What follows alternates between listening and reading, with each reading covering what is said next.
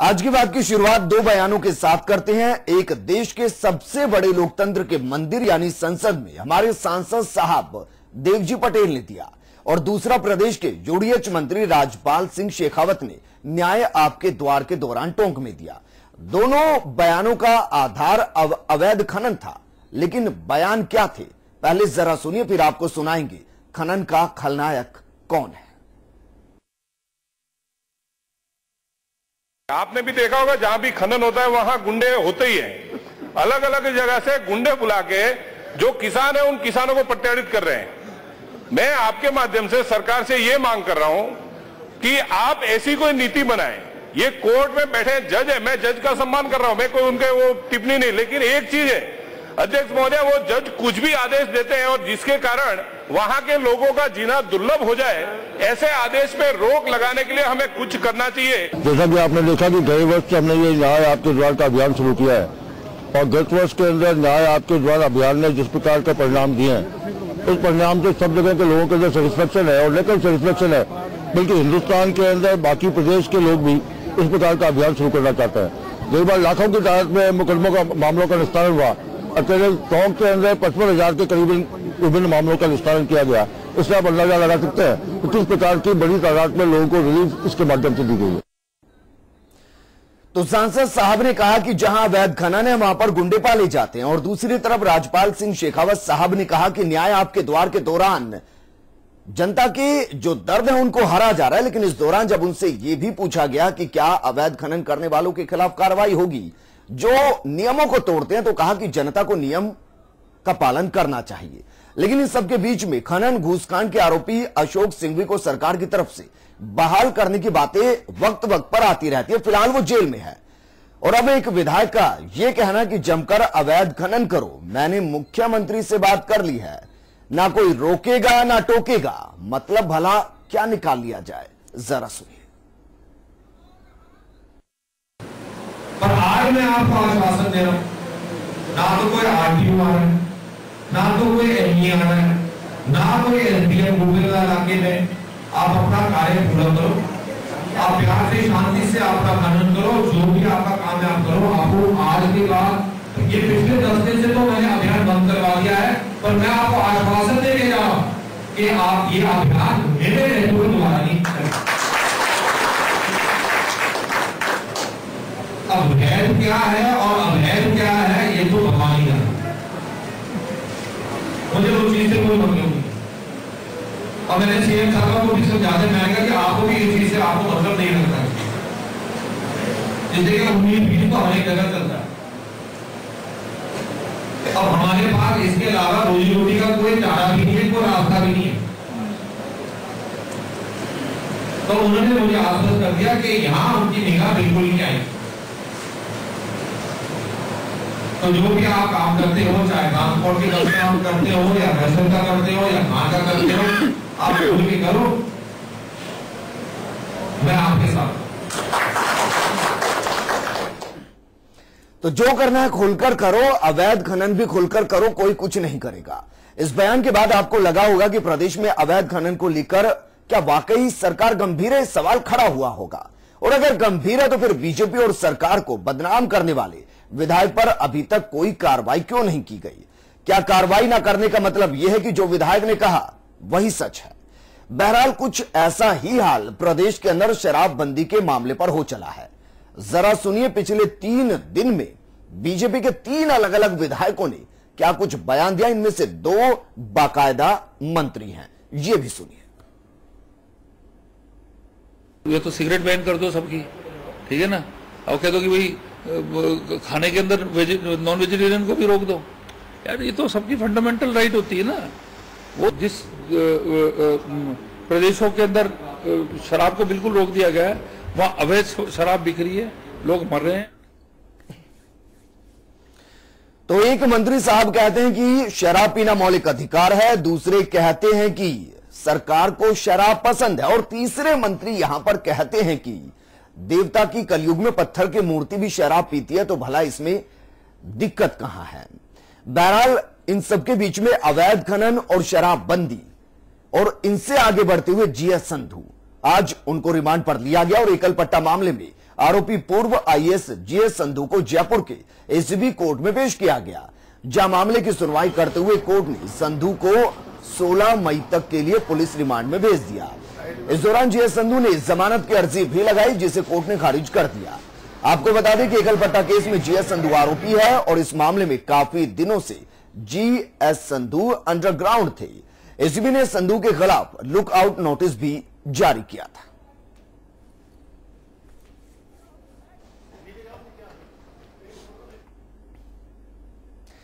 तो अवैध खनन और भ्रष्टाचार को लेकर सरकार कितनी गंभीर है, ये आप ऊपर देख चुके हैं। लेकिन प्रदेश के अंदर एक और मुद्दा है, जिस पर हर बार गंभीरता की बात होती है। लेकिन हर बार कार्रवाई सिर्फ़ दिखावा बनकर रह जाती है।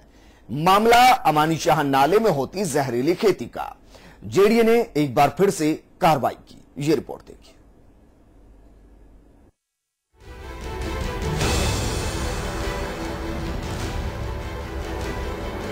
पिछले कई सालों से प्रदेश में जहरीली खेती होती है। कई बार लोगों की जिंदगियों को भी लील जाती है। हाईकोर्ट तक इस मामले में गंभीरता बरत चुका है। और इन सब के बावजूद एक बार फिर से अमानी शाह नाले की जद में जहरीली खेती शुरू हो चुकी है। कोर्ट के निर्देश मिले तो जेडीए प्रशासन ने अभियान शुरू कर दिया।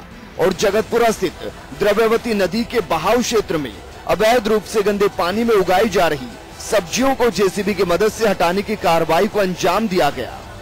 रामचंद्रपुरा गाँव में नाले में पंप सेट के ज़रिए पानी खेतों में पहुँचा के जो खेती की जाती है गंदे पानी से, उन पंप सेट, करीब तेईस पंप सेटों को वहाँ से जब्त किया गया है। रामचंद्रपुरा जो पॉइंट था नाले का, वहाँ से करीब तीन किलोमीटर दूर तक पानी, लाइन डाल करके पानी की और पानी ले जाया जा रहा था गंदा पानी। और उसी से खेती हो रही है, करीब 200 250 300 बीघा करीब करीब ज़मीन है जिसमें खेती होती है। उससे जब कार्रवाई को अंजाम दिया गया तो काश्तकारों और पुलिस के बीच झड़प हो गई। पुलिस ने इस दौरान कई काश्तकारों को राज कार्य में बाधा पहुँचाने और शांति भंग के आरोप में गिरफ़्तार कर लिया।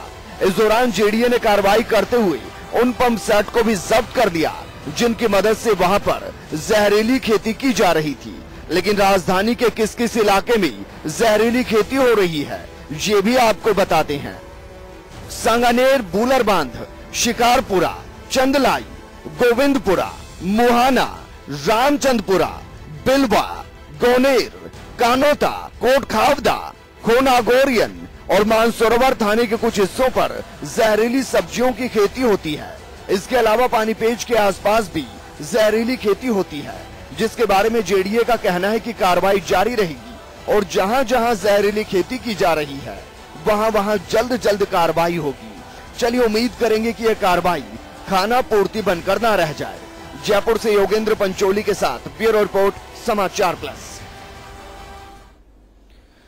मुद्दे कई हैं, लेकिन इन सबके बीच सवाल यही है कि क्या सरकार गंभीर है? फिर चाहे मुद्दा विकास का हो, सरकार गाँव में मूलभूत सुविधाएँ पहुँचाने का बेशक वादा हो, और क्या वाकई में सरकार इन सब के लिए प्रतिबद्ध है? आपको धौलपुर का एक ऐसा गाँव दिखाते हैं जो लगता ही नहीं कि वो इसी प्रदेश का गाँव है। क्योंकि यहाँ ना तो सड़क है, ना आंगनबाड़ी केंद्र है, ना चिकित्सा केंद्र और ना ही स्कूल है। 21वीं सदी की तस्वीर भी आपको देखनी चाहिए।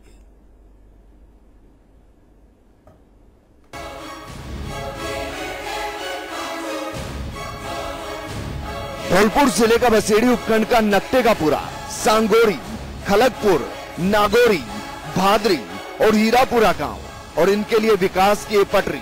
जिसके बारे में समझ ही नहीं पा रही कि विकास लेकर आई है या फिर विकास को रोककर खड़ी है। क्योंकि इन पटरियों पर रेल नहीं, साइकिल और मोटरसाइकिल चलती है, ज़िंदगी मानो रेंगती है। और ऐसा इसलिए क्योंकि इन गाँवों तक पहुँचने का कोई रास्ता नहीं है। हर किसी को जान हथेली पर रखकर इस पुल को पार करना पड़ता है, ताकि अपने गाँव पहुँच सके, या फिर गाँव से बाज़ार और बच्चे स्कूल पहुँच सके। लेकिन बच्चों की इस पुल से गुजरते वक्त रूह काँप जाती है। जाने से परेशानी होती है और और और डर लगता है। पुल से डर लगता है और बैठ बैठ के करना पड़ता है और टीचर मना करते हैं। बच्चों की रूह कांपती है तो वहीं बड़ों के हाल भी कुछ अच्छे नहीं है। बुज़ुर्गों की तबीयत बिगड़ जाए या फिर महिला के प्रसव की पीड़ा हो, हर दर्द की दवा के लिए जान हमेशा हथेली पर ही रहती है। इमरजेंसी केस कभी भी रात के समय बनता है एंबुलेंस के लिए हम फ़ोन करते हैं। तो वो एंबुलेंस हमारे गाँव के लिए जो पाँच मिनट सड़ी कस्बा से रास्ता है, वो कम से कम एक आधा घंटा, पौन घंटा लगता है, दस किलोमीटर का फिर लेके आती है। सबसे बड़ी समस्या ये है कि रेलवे लाइन पर बारिश के समय पे जब नदी उफान पर आती है तो सारे गाँव के लोग या एक दर्जन गाँव, दो दर्जन गाँव इधर से पूरा ही रास्ता बंद हो जाता है। तब यहाँ से लोग वगैरह निकलते हैं तो रेलवे लाइन पर भीड़ लग जाती है। निकलने के लिए आदमी गिर जाते हैं पानी के अंदर। तो हमें भी निकालना ऊपर से ऊपर से कूदना पड़ता है उसमें निकालने के लिए। अब जरा सोचिए, जहाँ आज तक सड़क बन नहीं पाई, वहाँ चिकित्सा व्यवस्था, आंगनबाड़ी केंद्र, नालियाँ और पानी के लिए टंकी भला कहाँ होगी? यानी इन गाँव में पैंसठ सालों से न तो विकास पहुँच पाया, न सड़क पहुँच पाई और न ही मूलभूत सुविधाएँ पहुँच पाई। अगर कुछ पहुँचा तो वो है बस चुनाव के दौरान राजनेता जो आए वादे किए वोट लिए और कभी लौट कर नहीं आए। हमारे गाँव का जो रास्ता है वो बिल्कुल यहाँ से जाकर है और यहाँ से कोरबू कोई दूसरा रास्ता है नहीं। इसलिए जो भी जो लोग वादे करके जाते हैं हमारी जो ने, नेता लोग हैं जो भी बनते हैं वो किसी ने आज तक कोई ठोस कदम उठाया नहीं है।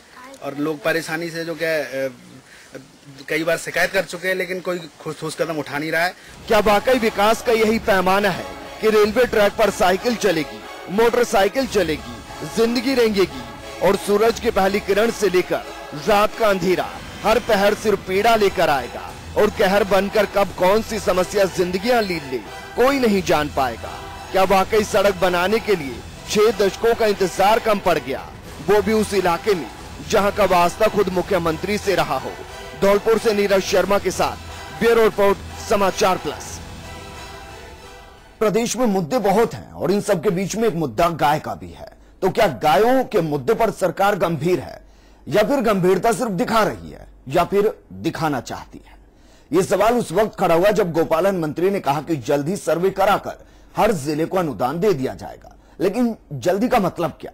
ये सवाल इसलिए क्योंकि अप्रैल में ही आसमान से अंगारे बरसने शुरू हो चुके हैं। हर दिन दर्जनों गायों की मौत हो रही है।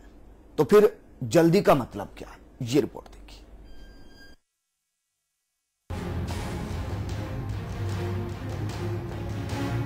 प्रदेश में गर्मी ने इंसानों की ज़िंदगी को शिकंजे में कसना शुरू कर दिया है। तो फिर जरा सोचिए जानवरों का हाल क्या होगा। लेकिन जिस तरीके से सवाई माधोपुर के कोचर में गायों की मौतें हुई, सियासत गरमाई, कांग्रेस हमलावर हुई शायद इसके बाद बीजेपी हरकत में आ रही है, क्योंकि जिस गाय के मुद्दे पर उसकी राजनीति टिकी है, अगर उसी मुद्दे पर वो खुद घिर जाए तो फिर सवाल सरकार की सोच पर भी खड़े हो जाते हैं। शायद इसीलिए गोपालन मंत्री कहते हैं कि प्रदेश सरकार सूबे की हर गौशाला का सर्वे करवा रही है। गौशालाओं का सर्वे चल रहा है। जो आपदा में ज़िले हैं, उनको जल्दी ही अनुदान मिल जाएगा। जो आपदा में नहीं है, उनको भी आपदा की तरफ़ से चारा डिपो के लिए सरकार अलग से व्यवस्था कर रही है, पानी के लिए व्यवस्था कर रही है। भीषण गर्मी का एहसास अप्रैल की शुरुआत में ही हो चुका है और सर्वे मई के मिड तक भी नहीं हो पाया। क्या वाकई इसके बाद ये कहा जाए कि सरकार और गोपालन विभाग गायों के मुद्दों पर गंभीर है? क्यों ना वक्त पर सर्वे किया गया? बहराला मंत्री कहते हैं कि हर ज़िले में चारा डिपो और पानी के लिए अनुदान दिया जाएगा। ये अनुदान उन जिलों में भी दिया जाएगा जो आपदाग्रस्त जिलों में शामिल नहीं है।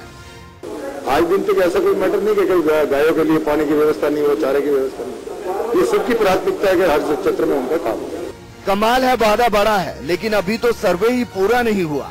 लेकिन अगर मान भी लिया जाए कि अगले एक सप्ताह में सर्वे पूरा हो जाएगा तो फिर भी इस महीने तक अनुदान हर ज़िले के गौशाला तक पहुँच जाए। उम्मीद ना के बराबर है। यानी अप्रैल की आग सैकड़ों गायों को रात पहले ही कर चुकी है। अब मई के अंगारे भी सैकड़ों गायों को मार देंगे। लेकिन विभाग सर्वे और अनुदान की बात कहकर जता देगा कि वो गायों के मुद्दे और उनके मौतों के मामलों पर गंभीर है। जयपुर से पीयूष शर्मा के साथ ब्यूरो रिपोर्ट, समाचार प्लस। अब ना जाने कब गायों तक चारा और पानी पहुंचेगा, लेकिन जरा सोचिए, जिन लोगों ने अपने गाँव में कई दशकों से कभी पानी की पाइपलाइन देखी ना हो, वहाँ टूटियों से पानी की धारा बहने लगी तो लोगों के बीच क्या वो दिन दिवाली से कम होगा? बिल्कुल नहीं। ये रिपोर्ट देखिए।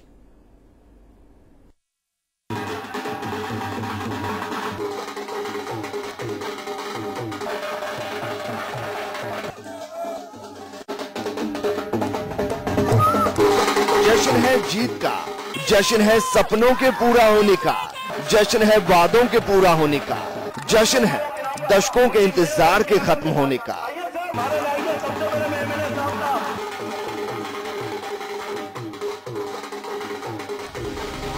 टोंकी नगर परिषद की सबसे बड़ी दलित परिवारों की बस्ती है, जिसे लोग खारवाल बस्ती के नाम से जानते हैं। यहाँ आज़ादी के बाद कई चुनाव हुए, कई नेता आए और चले गए, लेकिन इस बस्ती की पीड़ा किसी ने ना सुनी। पिछले 21 सालों से पानी की बूंद बूंद को तरसे इस बस्ती के परिवार एक एक किलोमीटर दूर से पानी का जुगाड़ करते हैं। यहाँ तक कि स्कूल में पढ़ने वाले बच्चों की भी पढ़ाई इस पानी की वजह से बाधित रहती है। पहले बहुत ज़्यादा परेशान होते पानी के चक्कर में। और पहले हम स्कूल जाते थे, जो है ना, जो वो पानी भर के जाते थे पहले। हाँ पहले हमारे पानी की बहुत परेशानी थी। इस तरह की कुछ बीस साल हो गया, मैंने पानी से परेशान होता। और अब पानी आए तो बहुत धन्यवाद, शंकर भगवान के धन्यवाद हो अकबर साहब मार साहब की। जो पानी आयो मांगे पानी पिलाया बीस साल में। इक्कीस साल से इन बस्तियों के अंदर पानी की लाइन नहीं थी। ये दूर दराज यहाँ से डेढ़ दो किलोमीटर की दूर जाते थे रोड क्रॉस करके जाते थे कहीं बच्चे मर भी गए हैं। लेकिन आज यहाँ पर हमारे सांसद महोदय एमएलए साहब की वजह से यहाँ पर आज जो है पानी चालू हुआ है जिसके अंदर पूरे बस्ती के अंदर ढाई सौ घरों के अंदर खुशी की लहर दौड़ गई है। 21 सालों का इंतज़ार खत्म हो गया। इस बस्ती में पानी की पाइपलाइन बिछा दी गई। विधायक अजीत मेहता ने अपना वादा निभा दिया और पहली बूंदों से बच्चा कैसे प्यास बुझा रहा है, ये तस्वीर बताने के लिए काफ़ी है कि इस बच्चे के लिए किसी चमत्कार से कम नहीं। कम से कम उसने अपनी ज़िंदगी में ऐसा पहली बार जो देखा है कभी तो जश्न जीत से कम नहीं है।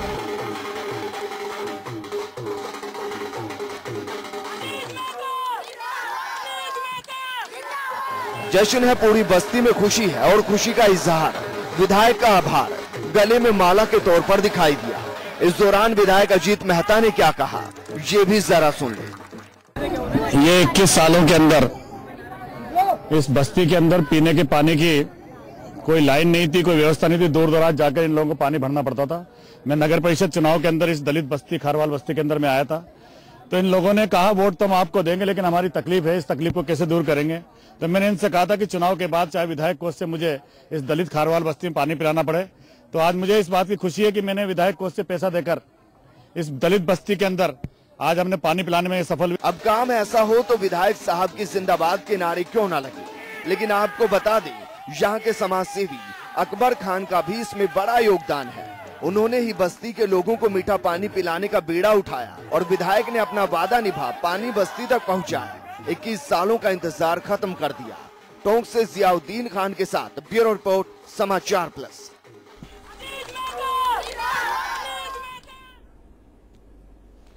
ऐसी खबरें बहुत कम आती हैं। अगर वाकई में हर विधायक इस तरीके से काम करने लगे तो गाँव का रूप बदलने में भला कितना वक्त लगे? आगे बढ़ते हैं और विवादों से घिरे आसाराम ने एक और बयान दे दिया है। आसाराम ने कहा कि कानून अंधा है। एक लड़की के चक्कर में कानून अंधा हो गया और ये कहते हुए कानून को ही कटघरे में खड़ा कर दिया। क्या कुछ कहा? जरा सुनिए। कभी कभी तो बोल नहीं पाता हूँ ऐसा बढ़ गया। क्या हो गया बाबू आए थे तो दो बीमारी। फिर एम्स में से निकाली अभी दो और बढ़ गई। जो बोर्ड का है उसका, और करवट का बोर्ड का अध्यक्ष ने भी पता मानसिक दबाव, झमर में इलाज नहीं। किया धंधे कानून ने एक लड़की के कहने से लाखों बेटियाँ मेरी अभी आपके काम कानून अंधा है। ये कानून चलो चलो चलो आप आगे आगे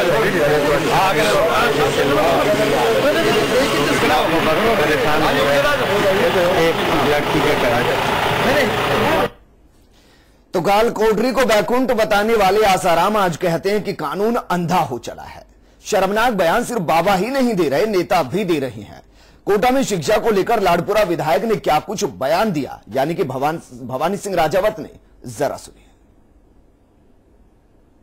मैं तो यहाँ तक कहना चाहूँगा कि बिहार के छात्रों को कोटा में प्रवेश देना बंद कर देना चाहिए।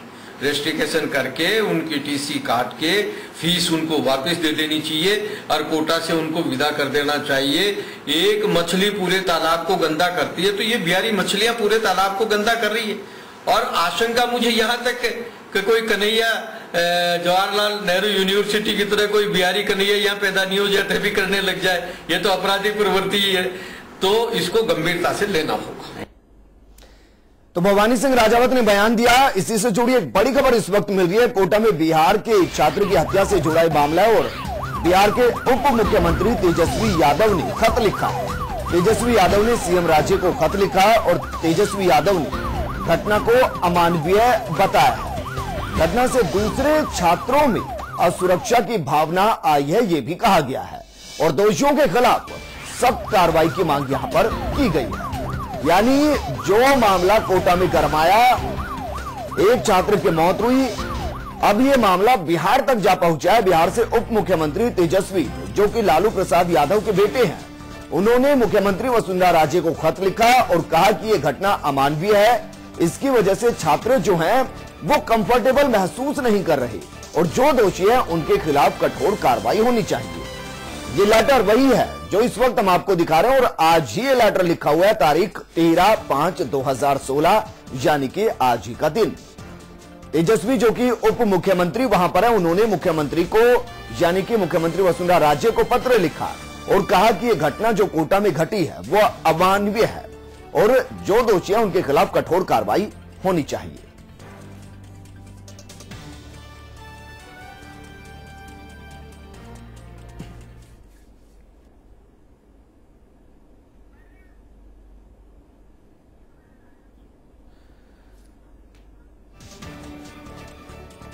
तो यहाँ पर लेटर एक लिखा गया और उसमें कार्रवाई की बात यहाँ पर की गई है और कार्रवाई करते हुए यह भी कहा गया कि आप अगर कार्रवाई करेंगे तो शायद जो बच्चे हैं उनके अंदर थोड़ा सा सुरक्षा की भावना महसूस होगी। फ़िलहाल जो बच्चे वो असुरक्षित यहाँ पर खुद को महसूस कर रहे हैं।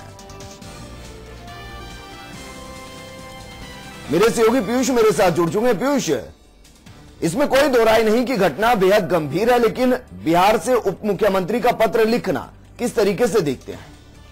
देखिए, मुख्यमंत्री को पत्र लिखने इस बात का साफ़ तौर पर संकेत है कि जिस प्रकार से आज भाजपा के विधायक ने जो बयान दिया है, वो उसकी गूंज कहीं ना कहीं बिहार तक गूंजी है। और यही कारण है कि खुद वहाँ के जो उप मुख्यमंत्री है उन्होंने मुख्यमंत्री वसुंधरा राजे को पत्र लिखा। हालाँकि पूरे पत्र में विजेंद्र कहीं पे भी भवानी सिंह राजावत की किसी बयान का ज़िक्र नहीं किया गया, लेकिन जिस पत्र की पूरी शैली है, उससे साफ़ तौर पर इस बात से इंगित होता है कि कोटा में पढ़ने वाले बिहार या दूसरे राज्यों के जितने भी छात्र हैं वो अब असुरक्षा की भावना से प्रेरित है उनको असुरक्षा की भावना करने का उनके मन पे डर करते जा रही है। चलिए शुक्रिया तमाम जानकारी के लिए उम्मीद करेंगे कि सरकार इस पर कार्रवाई करती हुई नज़र आए लेकिन जिस तरीके से जिस तरीके से कोटा के अंदर लाड़पुरा के विधायक भवानी सिंह राजावत ने बयान दिया उसके बाद सवाल ये भी खड़ा होता है कि क्या अब शिक्षा नगरी और शिक्षा दोनों ही क्षेत्रवाद के दायरे में बंधती नज़र आएँगी?